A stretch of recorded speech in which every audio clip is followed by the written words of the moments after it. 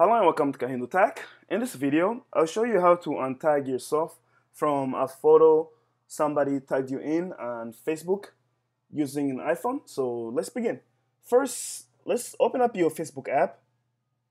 Once you have it open, go to that picture that somebody tagged you in. Okay? Once you get to that picture, go ahead and press this little uh so say I get to this picture, okay, and I was tagged here on the bottom of it. If I want to untag myself from this picture, do you see up here where there's those three little dot little dots? You want to tap on those. Okay. Now on the bottom of this list, here it says remove tag. You want to tap on that. And then it says uh, you won't be tagging this photo anymore. This photo will no longer appear in your timeline. It may appear in other places like newsfeed or search. Click on OK. And there you go.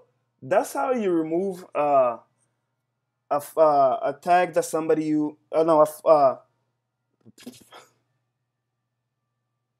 that's how you remove yourself from a photo that somebody tagged you in on Facebook. If you have any other questions or comments, please leave them in the comment section below. If you like the video, give it a thumbs up and definitely subscribe to my channel for more videos like this. Thank you for watching.